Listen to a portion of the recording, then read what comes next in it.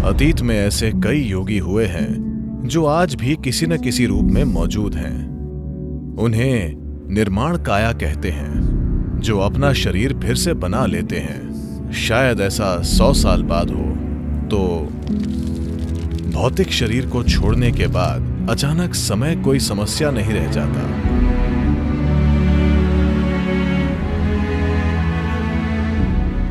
सतगुरु क्या समय की यात्रा संभव है? क्योंकि कहा जाता है कि बाबा जी हज़ारों वर्षों से हिमालय में रह रहे हैं। ऐसी चीज़ें कही जाती हैं तो मैं जानना चाहती हूँ कि आप इस बारे में क्या सोचते हैं। ये सब, किसी ने बाबा जी के बारे में बहुत पहले कुछ कहा था। अब सभी उनकी बातें करने लगे हैं, उनके बारे में फ़िल्में बनाने लगे हैं। हर कोई उन्हें हर जगह देखने लगा है। जो बात लोगों के अनुभव में नहीं है, उसके बारे में बोलने से मैं हमेशा परहेज करता हूँ। क्योंकि लोगों का अपनी कल्पना पर कंट्रोल नहीं है। वे भ्रम में पड़ जाएँगे। नब्बे प्रतिशत धर्म सिर्फ़ भ्रम हो गया है, क्योंकि लोगों का अपनी कल्पना पर कंट्रोल नहीं है है ना? देखिए मान लीजिए मैं अभी परियों की बातें शुरू कर दूँ। तो लोग उन्हें सफ़ेद बादलों में देखने लगेंगे। तो जब ऐसी चीज़ की बात की जाती है जो लोगों के अनुभव में नहीं है तो हमेशा लोगों के किसी भी समूह में सबसे बेवकूफ़ लोग उसे सबसे पहले देखते हैं। बुद्धिमान व्यक्ति बैठकर सोचेगा कि हो क्या रहा है। पर सबसे मूर्ख लोग परियों और देवताओं को तुरंत देखने लगेंगे। हाँ या ना? हाँ या ना? यह हकीकत है या नहीं? सिर्फ़ इसीलिए कि उनका अपनी कल्पना पर कोई कंट्रोल नहीं है। वे तुरंत देखना शुरू कर देते हैं। वे झूठ नहीं बोल रहे हैं। वे देखना शुरू कर देते हैं, क्योंकि उनकी कल्पना उनके नियंत्रण में नहीं है। तो मैं बाबा जी की बात नहीं करना चाहता क्योंकि उनके नाम पर बहुत बातें हो चुकी हैं। पर क्या ऐसा संभव है? अतीत के कई योगी आज भी किसी रूप में मौजूद हैं। वे अपने शरीर के सबसे बारीक हिस्से को बरकरार रखकर मौजूद रहते हैं।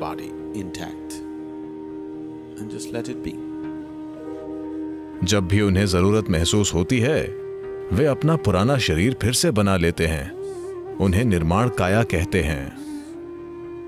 ऐसे लोगों को निर्माण काया कहते हैं, जो अपनी काया को फिर से बना लेते हैं। गौतम बुद्ध को एक निर्माण काया योगी माना जाता है। ऐसे कई योगी हैं, जो पहले जैसा शरीर बना सकते हैं, एक युवा शरीर जैसा उन्हें पसंद था। शायद सौ साल बाद, हज़ार साल बाद, चाहे जितने भी साल हों, क्योंकि वर्षों की संख्या कोई मुद्दा नहीं है। जिसे आप समय कहते हैं, वो इस शरीर के लिए एक तरह का है और दूसरे शरीर के लिए दूसरी तरह का, है ना? देखिए, आपके शरीर के लिए 10 साल यानी इतना 20 साल इतना 30 साल उतना 70 वर्ष उतना। Like. मान लीजिए एक कुत्ता है तो आपका एक साल उसके अनुभव में शायद पंद्रह साल हो, है ना? आप एक कीड़े को देखें तो शायद आपका एक दिन उसके लिए पचास साल हो क्योंकि उसकी उम्र दो दिन की है। तो समय का अनुभव और प्राणियों का समय का अनुभव बहुत अलग होता है। इस ग्रह के जीवन में सौ वर्ष शायद एक सेकंड हो हम गणना नहीं जानते पर यह बहुत छोटा है। Small, isn't it? तो ऐसा सिर्फ़ इंसानी दृष्टिकोण से नहीं है। हर चीज़ की हमारी जीवन काल से तुलना नहीं करनी चाहिए। उस प्राणी के जीवन में भी ऐसा ही है। इट इज़ सो शायद हमारा अनुमान अलग हो पर उस प्राणी के हिसाब से वो समय अलग है। तो जब आप भौतिकता और तार्किक मन की सीमाओं को पार कर लेते हैं And the logical mind, तब समय समस्या नहीं होता। आप देखेंगे कि अपने अंदर एक खास तरह का अनुभव पाने के बाद आप कहीं एक या दो घंटे बैठेंगे तो वो समय आपको एक मिनट जैसा लगेगा। समय का अनुभव हमेशा कई चीज़ों से तय होता है। जीवन की सामान्य प्रक्रिया में भी किसी दिन आप बहुत खुश हैं तो 24 घंटे बस ऐसे ही बीत जाते हैं है ना? किसी दिन आप दुखी होते हैं। 24 घंटे एक साल की तरह लगते हैं, है ना?